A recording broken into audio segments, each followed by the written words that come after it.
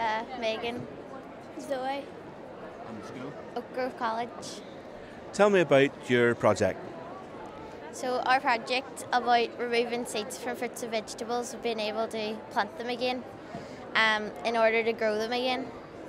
Um, it's to help with farmers in Africa because um, they would find it hard to be able to get the amount of money to go out and buy seeds because they can be quite expensive.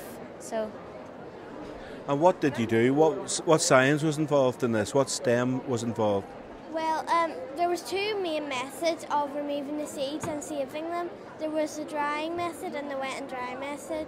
So for the drying method, you really just dried the seeds till they're constant mass.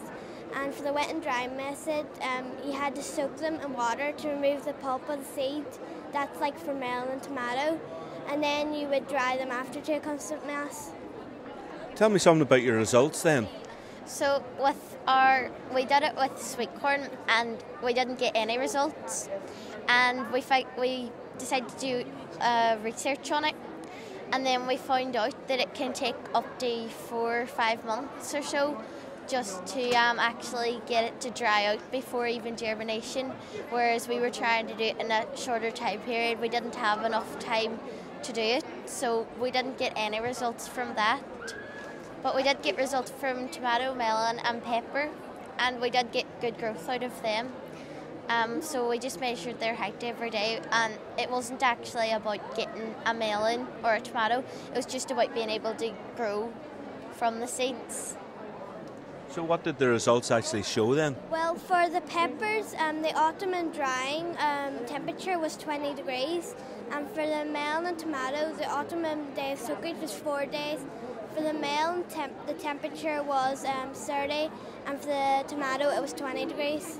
So, and that our results are good because the average temperature of Africa is between 20 and 30 degrees. So they won't need a lot of equipment to do this.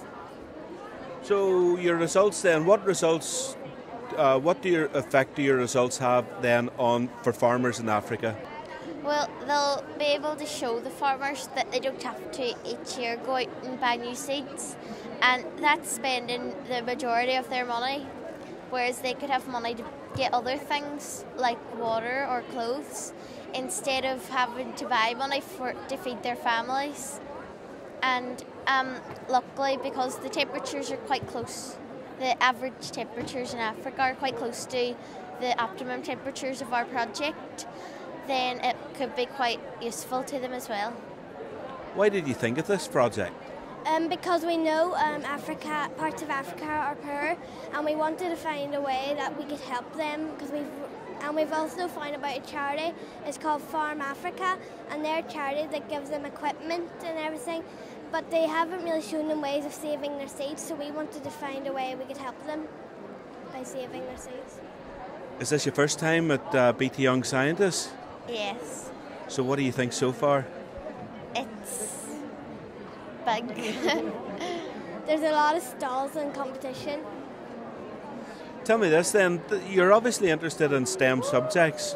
What about whenever you leave school? Will they have any impact on the career that you choose? um, I don't know because my dad I teaches side, so I don't want to be like him. Um, it really depends on because I might get to find something better I'm better at, so I'm not really sure yet. That's great, girls. Thanks very much.